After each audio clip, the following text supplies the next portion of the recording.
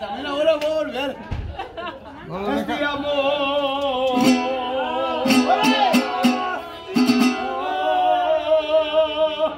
Apasionado.